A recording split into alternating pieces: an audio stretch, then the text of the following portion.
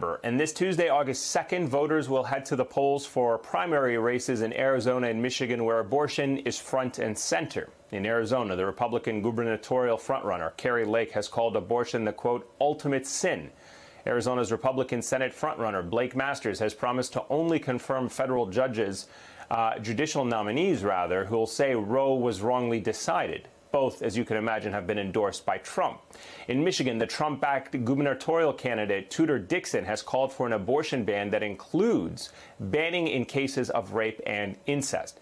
But arguably, the most impactful vote this Tuesday isn't for a politician but rather a referendum, the first of its kind since Roe was overturned. Kansas will hold a vote on an amendment that would alter the state constitution to say it no longer protects the right to an abortion. NBC's Dasha Burns filed this report earlier from Kansas. What's at stake here? The right to choose. This is absolutely an issue that if uh, the restrictions are too high or if there's too much controversy, that um, people's lives are at stake.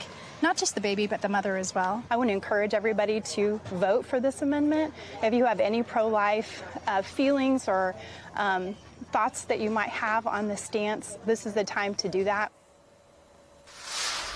My next guest, Laphonza Butler, is the president of Emily's List, the political action committee dedicated to electing Democratic female candidates who support abortion rights. She is now out with a new op ed highlighting the connection between the GOP's efforts to chip away at abortion access and limiting voting rights.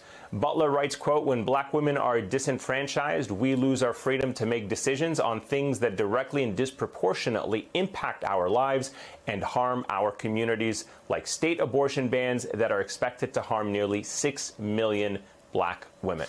Laphonza Butler joins me now. Laphonza, thank you so much for joining us. Let's start with that Kansas vote coming up on Tuesday. If the state does end up removing the constitutional right to abortion access, what precedent will this set for other states to follow?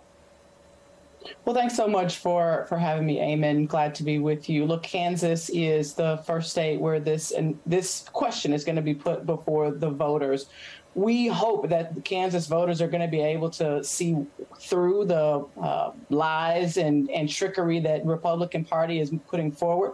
Um, and you know, we know that this is going to be a hard-fought battle. What we believe to be true, uh, and I think what you, what was mentioned in your earlier segment, that poll after poll after the Roe decision has uh, definitely indicated that Democrat, the Democratic Party is is the party that is standing with the majority of Americans, and we hope that the Kansas voters are actually able to make their way through this morass of disinformation and misinformation and continue to represent their own sort of Kansas values. And, you know, for ballot measures to come, set the example uh, that voters are going to push back against the attack on their freedoms, the freedoms to make decisions about their own bodies and their access to the ballot box.